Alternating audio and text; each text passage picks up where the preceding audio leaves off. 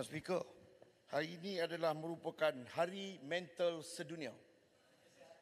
Hari Mental Kesihatan Sedunia. Ha? Ah, itulah itu guna ada Kesihatan, kawan-kawan. kesihatan itu yang mesti Ah, kita cuba fokuskan. nak bagi tahu bila kita pakai yang hijau ni, Ulangan. bukanlah maksudnya gelombang hijau, tidak. Baik. Tidak, beza. ya, bukan gelombang hijau. Jangan. Kesihatan dengan mental tu dua perkara beza. Eh? Kasih Yang Ketua. Um, dan seperti mana yang disebut tadi, uh, saya juga turut mengalu-alukan tahun Hari Kesihatan Mental Sedunia hari ini. Ya. Kesihatan mental milik semua, hentikan stigma. Dan ribin hijau yang termasuk saya pakai ini